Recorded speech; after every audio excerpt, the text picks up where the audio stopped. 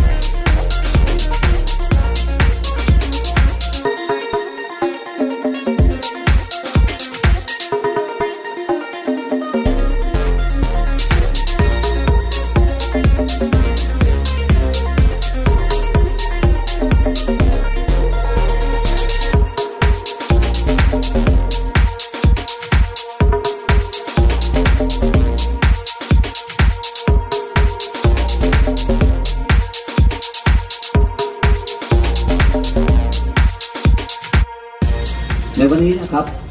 มีความพิเศษเพราะว่าเราได้นำผลงานประติมากรรมนะฮะไอจุดหรือชื่อล่าสุดเขาคือ Lovely Lucky Number 13 มาจากแสดงน้ำบิ๊กมอราวาจนาแห่งนี้นะครับซึ่งทุกท่านจะได้ลงทุนอีกไปชา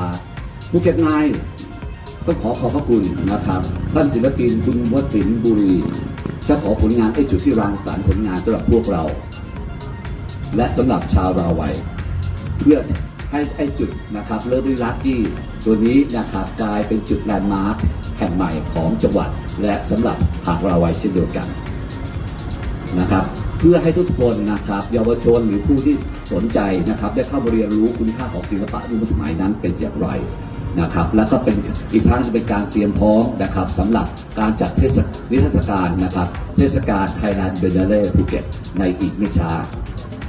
ทั้งนี้นะครับผมต้องขอขอบพระคุณทุกท่านอีกครั้งนะครับผมในการที่เข้ามาร่วมงานในวันในวันนี้